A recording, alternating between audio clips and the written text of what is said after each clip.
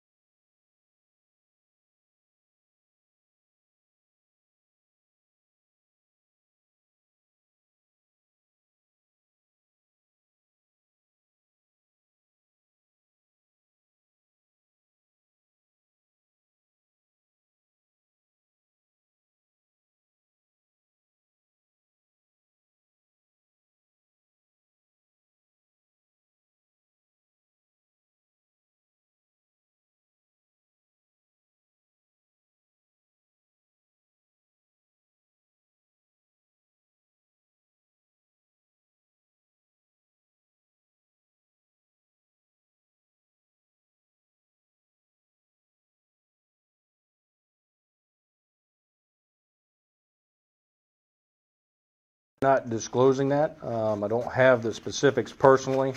Um, I want everybody, before we get fully into these questions, which is a good one, it's a good question. I may not answer every one of your questions because what I'm going to assure is the integrity of this case is to its highest. So that when we do go to trial on this individual, no one could poke holes into this case whatsoever. But they have been located, and I don't have it exactly. When we were there, we spoke with neighbors who uh, gave their opinion that they thought that this had maybe happened a month ago. Are you able to talk to timing of this, when he may have uh, killed either his wife or these children? We, it is unclear at this time, okay? Um, what we do know is, uh, based on family, uh, they've been missing for roughly about uh, four to six weeks. Uh, it was reported Saturday night, and obviously we located and, and turned this over within a 24 hour period. Um, and from there, um, the reporting, how long and all that, why, don't know. The Brantley County Sheriff's Office told me that he gave him up, himself up pretty quickly um, when they encountered him in the car and told them that Casei's body was in the car. Can you confirm that? Yes, that is the truth. Uh, do, can you speak to what that means moving forward with the investigation, that he did provide this information uh, about her and the children's remains uh, so quickly?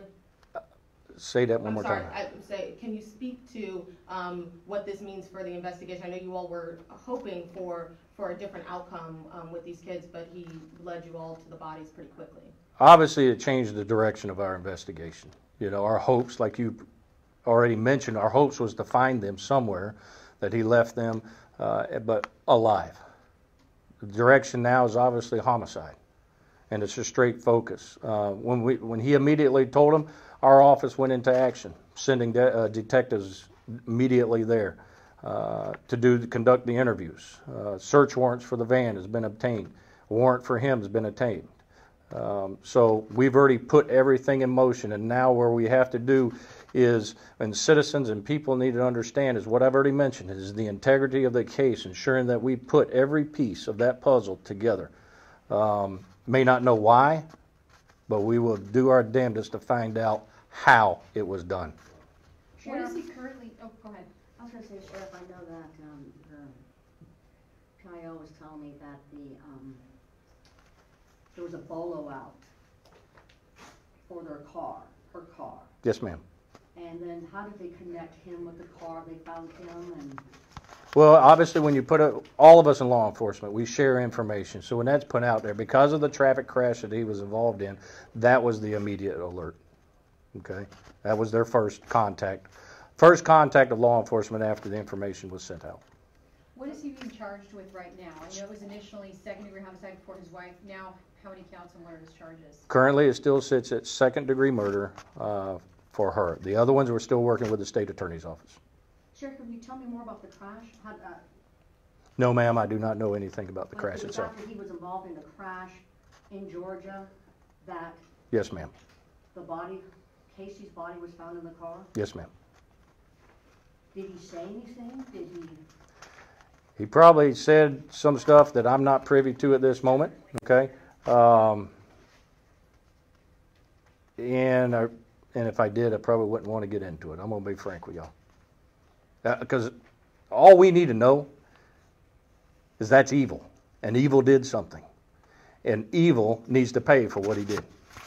Plain and simple as that.